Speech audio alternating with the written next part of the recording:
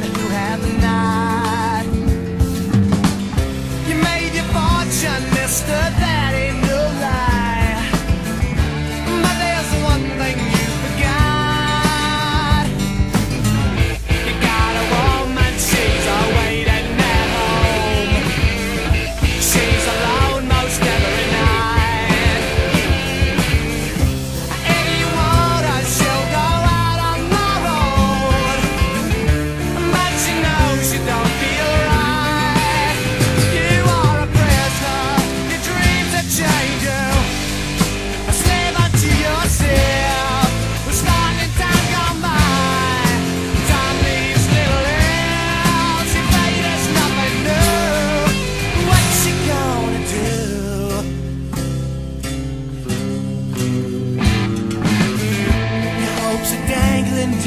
heads in a whirl, and now you're on.